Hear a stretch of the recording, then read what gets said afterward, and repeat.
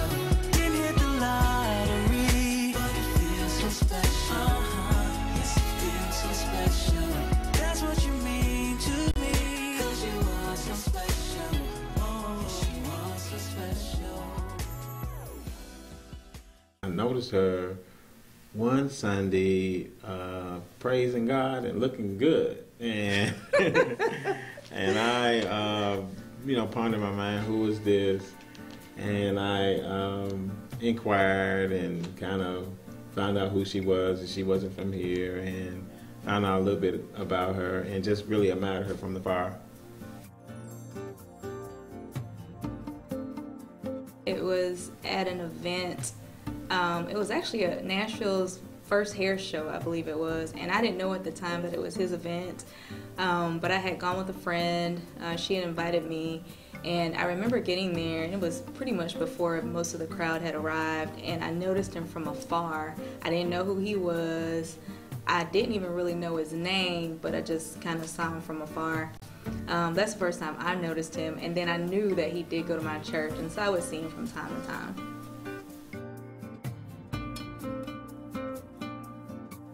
Uh, I'm an optimist. I believe I can do anything. And, you know, um, LaTisha was kind of stubborn, and I kind of, you know, um, never really, no, I, I couldn't think I was going to marry this woman, but it's like a dream come true, to be honest.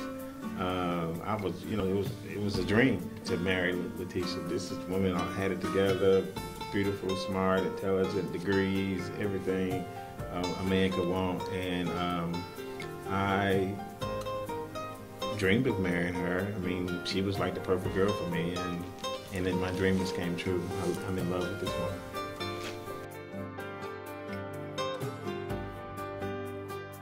When I initially um, saw John, at the time I could see that he was somebody that was um, established. Um, he had a lot of things going on. It seems like he had his stuff together.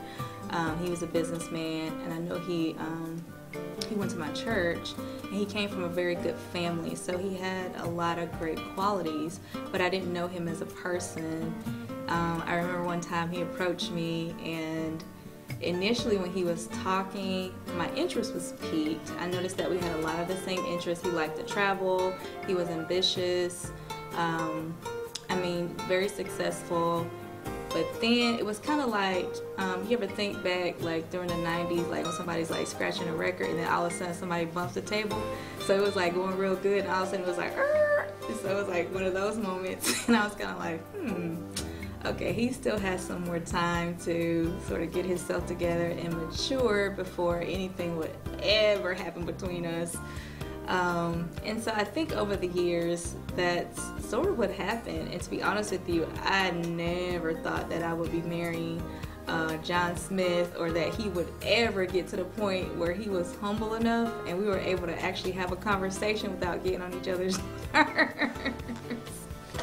but since then, over the years, I do believe that um, he has probably thought about that conversation, thought about how he came across. Um, Girl, I can change your life. oh yeah, that that was that was his that was his line where the record was like. You, you need me. Yeah, he's like Mr. CEO um, and willing to give uh, some people jobs. I think you said you was gonna give the guy I was dating at the time Yeah, a he can job. he can come work He for can me. work for you. Yeah. Yeah, a little so- arrogant, a little arrogant. Yeah, a little bit. Yeah, he he did need a job though. he did. We're, we're um, just planning our future out right now. We're just excited about being in love and in our life together. Uh, we know that we want to do some things in ministry because we both love God and we both uh, want to help uh, young people out that maybe maybe that been in our shoes, maybe couples. Uh, there's a lot of things that we want to do to um, uh, help the kingdom. Hey y'all! So we're getting married on the beautiful beaches of St. Petersburg, Florida, my hometown, actually one of my favorite places uh, to be. December 19th, 2015 at 11 a.m. We'll have our ceremony on the beach and we will be celebrating a reception at the Magnuson Hotel. Magnuson Hotel. I said it. I said Magnuson. Okay. You gotta clip that wax out your ears. Okay. okay, Nashville uh, on January the 3rd, Nashville, Tennessee. That's a Sunday night at 5 p.m. DJ Kenny Smooth is going to be upstairs. The Steve Roper Band's going to be downstairs. It's going to be a humongous celebration. We're calling it a world affair.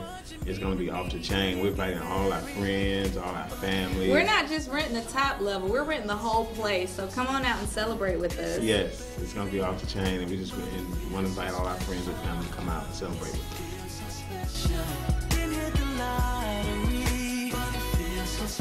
us.